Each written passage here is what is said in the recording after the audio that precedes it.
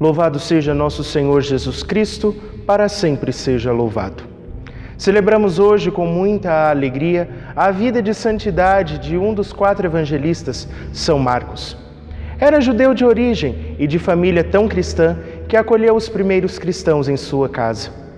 Ele se orientou e dirigiu-se para a casa de Maria, mãe de João, chamado Marcos.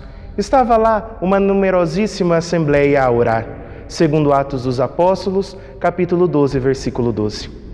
A tradição nos leva a crer que a casa de São Marcos teria acontecido a Santa Ceia celebrada por Jesus, assim como o dia de Pentecostes, onde inaugurou a Igreja Católica.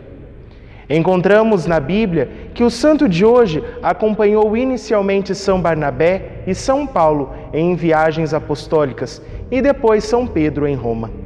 São Marcos, na igreja primitiva, fez um lindo trabalho missionário que não teve fim diante da prisão e morte dos amigos São Pedro e São Paulo. Por isso, evangelizou no poder do Espírito Santo Alexandria, Egito e Chipre, lugar onde fundou comunidades. Ficou conhecido principalmente por ter sido agraciado com o carisma da vivência comunitária, que deram origem ao evangelho querigmático de Jesus Cristo, segundo Marcos. São Marcos, rogai por nós. Deus em tudo e sempre.